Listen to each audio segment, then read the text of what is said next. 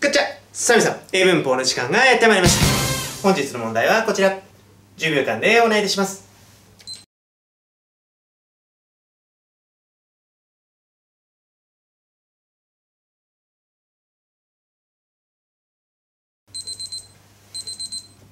さあ、正解はまあ、A を選んでる方は多いかと思います。デビさん、選択肢の ABC ですね。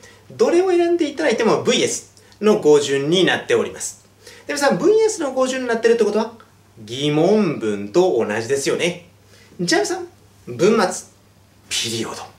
クエスチョンマークだったらいいんですが、ピリオドになっておりますので、VS の語順で使えないですね。ですから正解は D。で、これを正解だと分かってもですね、うーん、先生うまいこと繋がりますか？っていうような方いらっしゃるかと思います。では、口の左側ご覧くださいね。How がおりますので、どれくらい、どれほどという疑問詞でございます。で、選択肢の D を選んでいただきますと、to 不定詞。そうです。下をご覧くださいね。疑問詞プラス to 不定詞。How よりももうちょっと有名どころで言うと、皆さん、What to do? こういうのを見かけたことがある方は多いかと思います。まあ、次に何をしたらいいのかわからないということですが、疑問詞プラス to 不定詞。で、皆さん、空詞の左側。How long? でこれ、long がちょっと邪魔をしてですね、えー正解が見えないようにしている。まあ、そんな作戦ではございますが、long がなければ、how to do 聞いたことがある方は多いかと思います。では、文型を確認しますね。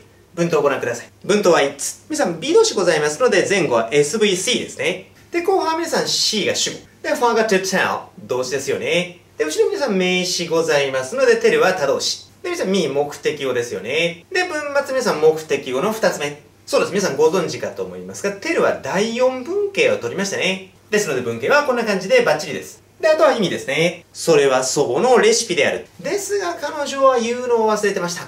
私に言うのを忘れてました。それをどれぐらい長く焼くのか。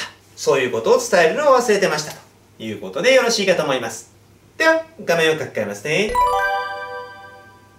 さあ、復習しやすいような画面に書き換えました。スクリーンショットする方はどうぞ。あとは画面の右側ですね。皆さんの指などで隠していただいて、で、丸一番に入る動く。それをスラスラ言えるよう活用なさっていただきますと幸いです。ということで、チャンネル登録もよろしくお願いします。